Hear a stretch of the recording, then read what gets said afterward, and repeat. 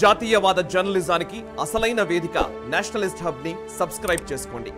Notifications కోసం bell icon పై click చేయండి. నమస్తే. రష్యా దళాలపై దాడికి సంబంధించిన అమెరికా నాటో రహస్య ప్రణాళికలు వెలుగు చూశాయి సీక్రెట్స్కు సంబంధించిన యుద్ధ పత్రాలు సోషల్ మీడియాలో దర్శనమిచ్చినట్లు బైడెన్ అడ్మినిస్ట్రేషన్లోని సీనియర్ అధికారులు తెలిపారు.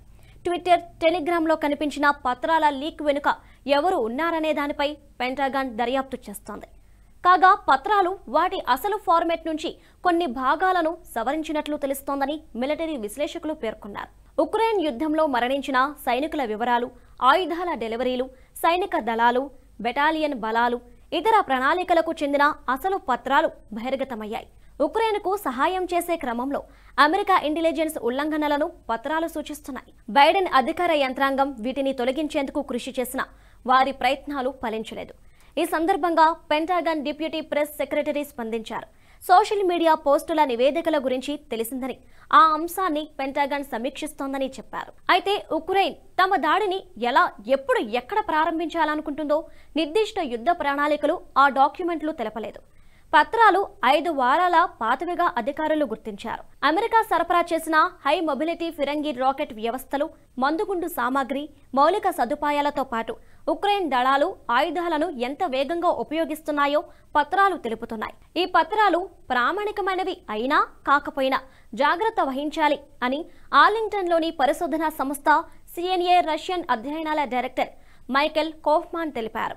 పదహారు వేల నుంచి పదిహేడు వేల ఐదు వందల రష్యన్ సైనికులు మరణించారని ఉక్రెయిన్ డెబ్బై ఒక్క వేల ఐదు వందల మంది సైనికులు మరణించారని పేర్కొన్నారు. పెంటాగన్ ఇతర విశ్లేషకులు రష్యా చాలా ఎక్కువ ప్రాణ నష్టానికి గురైందని అంచనా వేశారు. దాదాపు రెండు లక్షల మంది మరణించారని అదేవిధంగా ఉక్రెయిన్ వైపు లక్ష మందికి పైగా మరణించడం లేదా గాయపడి ఉండొచ్చని అంచనా వేశారు. ఓ డాక్యుమెంట్లో జనవరి నుంచి ఏప్రిల్ వరకు రూపొందించిన షెడ్యూళ్ళలో ఉక్రెయిన్ ట్రూప్ యూనిట్లు ఆయుధ సామాగ్రి శిక్షణ జాబితా వివరాలు ఉన్నాయి. ఈ పత్రంలో పన్నెండు బ్రిగేడ్ దళాల సమాచారం ఉంది. వీటిలో తొమ్మిది యుఎస్ ఇతర నాటో మిత్ర దేశాలచే శిక్షణ పొందినవి సరఫరా చేసినవి. కాగా తొమ్మిది బ్రిగేడ్ దళాల్లో ఆరు మార్చికి సంబంధించినవి కాగా మిగిలినవి ఏప్రిల్ ముప్పై నాటికి సిద్ధంగా ఉంటాయని లీకైన పత్రాలు వెల్లడిస్తున్నాయి.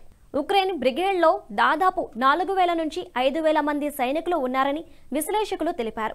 తొమ్మిది బ్రిగేడ్లకు అవసరమైన మొత్తం యుద్ధ సామాగ్రి రెండు వందల యాభై కంటే ఎక్కువగా యుద్ధ ట్యాంకులు మూడు వందల యాభై కంటే ఎక్కువ మెకనైజ్డ్ వాహనాలు ఉన్నాయని పత్రాలు తెలుపుతున్నాయి. ఈ వీడియో మీకు నచ్చినట్టయితే లైక్ చేయండి పది మందికి షేర్ చేయండి అలాగే కామెంట్ల రూపంలో మీ అభిప్రాయాలను మాతో పంచుకోండి. నేషనలిస్ట్ స్టాఫ్ గ్రూప్ ఆఫ్ ఛానల్స్ను సబ్స్క్రైబ్ చేసుకుని తెలుగునాట జాతీయవాద జర్నలిజాన్ని ప్రోత్సహించండి. ఈ వీడియో కింద ఉన్న బెలైకన్ పై క్లిక్ చేయడం మర్చిపోవద్దు.